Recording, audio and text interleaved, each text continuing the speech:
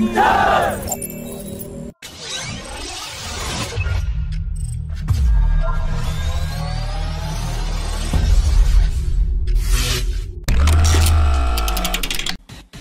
a significant development, the Aeronautical Development Agency has started preliminary design phase of the twin-engine deck-based fighter jet, and the design phase will be completed by 2024. The preliminary design phase is being undertaken in three stages.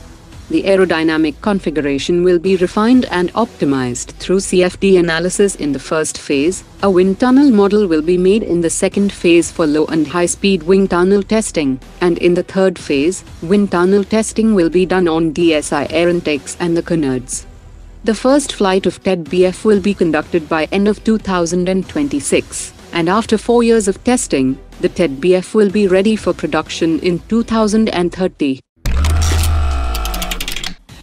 India has accelerated the development of the Pralay canisterized tactical surface-to-surface ballistic missile, and as per latest information, five Pralay missiles are being fabricated, which will be delivered by March 2023, that will be used for user induction trials.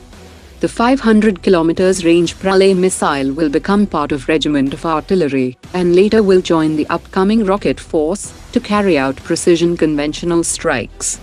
India also aims to export the Pralay missile to friendly countries in the region.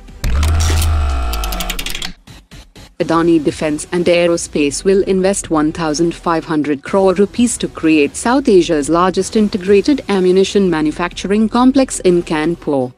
The facility will be spread over more than 250 acres and will have best-in-class technologies to manufacture small and medium-caliber ammunition, along with short-range air defense missiles. Hindustan Aeronautics Limited has started the process to procure equipment that will be used for the development of an attack variant of the light utility helicopter.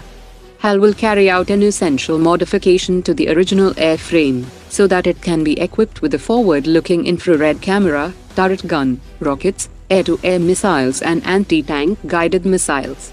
The attack variant will also have additional sensors to support aerial reconnaissance troop transport and close air support.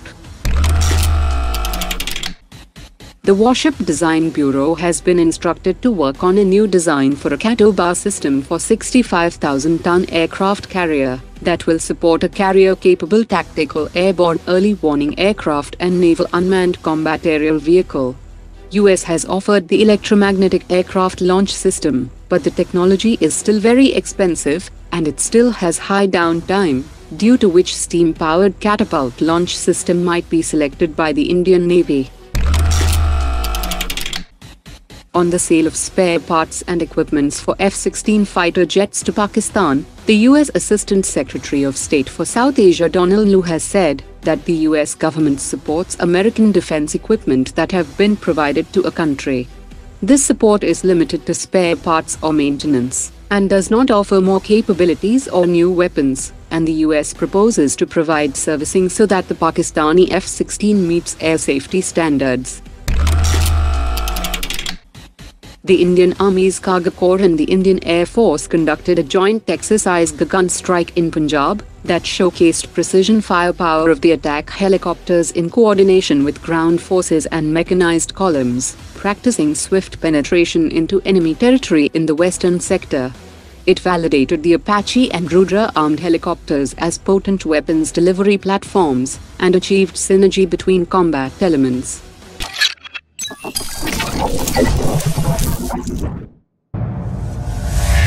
Omar dropped it.